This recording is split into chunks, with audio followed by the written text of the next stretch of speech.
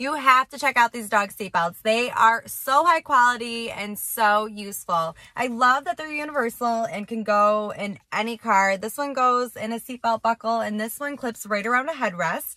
They are great for any size dogs. They have a bungee here for a shock absorber in case you stop really fast.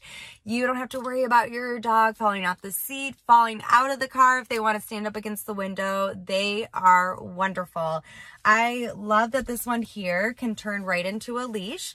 Um, so that one's super convenient. You can honestly get them right in the car and clip it right to the headrest and you don't have to worry about them running away.